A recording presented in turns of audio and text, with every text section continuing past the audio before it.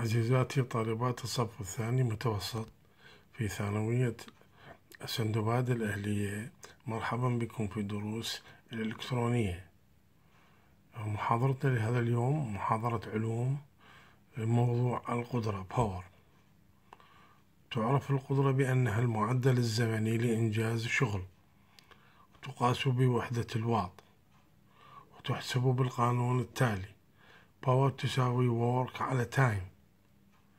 P تساوي W على T حيث أن P تساوي بوحدة الواط تساوي جول على سكند يقاس الشغل بوحدة الجول والزمن بوحدة السكند القدرة والشغل كميتان فيزيائيتان متلازمتان. فنقول للشخص الذي ينجز شغلا بفترة زمنية قليلة بأنه ذو قدرة أعلى من الشغل الذي يستغرق زمنا أطول. ملاحظة. تزداد القدرة بزيادة الشغل المنجز خلال زمن معين. هناك وحدات أخرى تستخدم لقياس القدرة مثل القدرة الحصانية hor أو horse power HP لقياس قدرة المكائن والآلات والسيارات الثقيلة. كل واحد HP تساوي سبعمية وستة وأربعين واط. ناقش قدرة الشخص على إنجاز شغل تزداد كلما قل الزمن. هذا يعني أن القدرة تتناسب تناسبا عكسيا مع الزمن. مثال رباع رياضي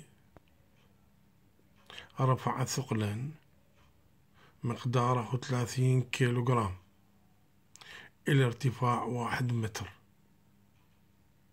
ما قدرة هذا الرباع إذا رفع الثقل خلال واحد منت P تساوي W على T.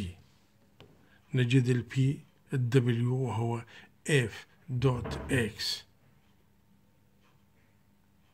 ويساوي لي ال F هو عبارة عن مقدار وزن الذي يحمله هذا الرباع ويساوي m g dot x يطلع عندي W تساوي خمسمية وثمانية وثمانين جول.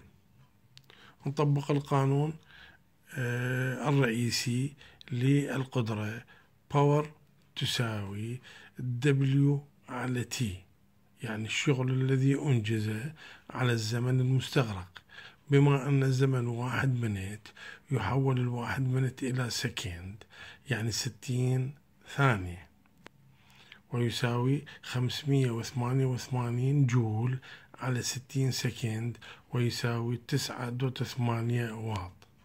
شكرا لإصغائكم وإلى اللقاء في محاضرة